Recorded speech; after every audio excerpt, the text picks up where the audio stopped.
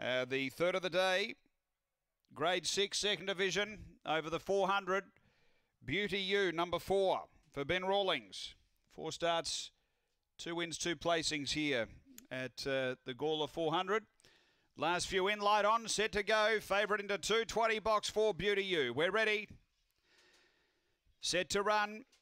They're racing, and Beauty U out okay, showing speed. Destiny Hallmark's going to cross down and grab the front and get away. Destiny Hallmark by three, Leventi giving chase, and then Dramatic Diva. They were followed by 90 Mile Kobe, then came Beauty U and Wilcott. Oh, they've got the Destiny Mall Hallmark quickly. Dramatic Diva took over, railing up Leventi. Out wide a 90 Mile Kobe. Leventi diving through, pulled clear, and Leventi beats Beauty U, 90 Mile Kobe, Dramatic Diva. Uh, then we had behind those next uh, Wilcott, and back at the tail is Destiny Hallmark. The time here 23 and 18.